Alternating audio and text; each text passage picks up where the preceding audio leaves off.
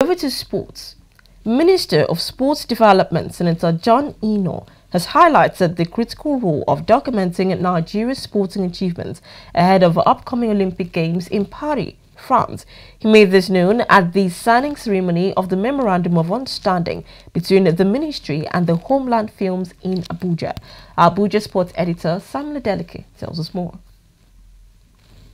The agreement aims to produce a movie commemorating Nigeria's football gold medal victory at the 1996 Atlanta Olympics in the United States. Senator Enoh emphasized the importance of the movie project for the nation's sports legacy. Ministry is going to be ready and available to play whatever role will be required of it, to promote this project, to speak to different different classes and categories of people in different platforms to sell this project. It's our project.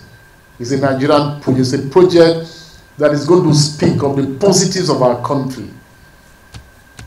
You know, it's a story about, you know, it's, it's um, young men, young people. Like Matt said, the, the, the story is not about the finals or the match that was won and all of that.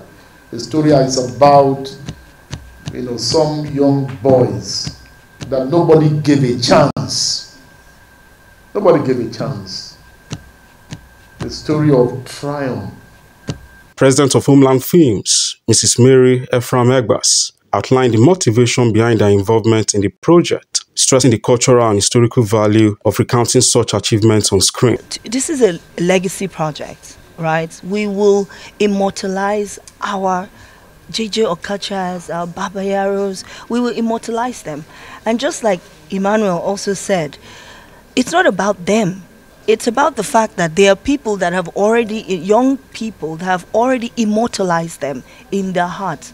And uh, us being able to put them on a pedestal would really affect the young people and they'll be able to see that oh wow if i work just as hard you know nigeria is going to reward me. Emmanuel babayaro a member of the 1996 atlanta football team that secured the historic victory expressed his support for the movie project highlighting its potential to inspire future generations of nigerian athletes. The honorable minister reminded me of um, of the rugby team the, the south african rugby team that won the world cup and how film has the film industry has elevated that winning the World Cup, making it an eternity team.